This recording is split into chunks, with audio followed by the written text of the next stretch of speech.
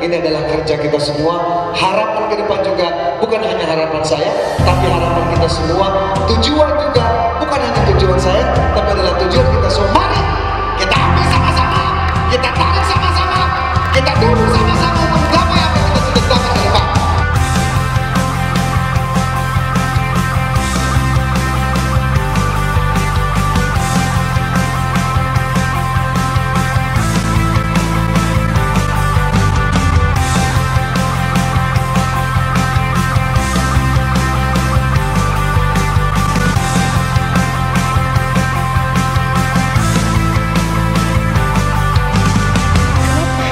ada BM PAN?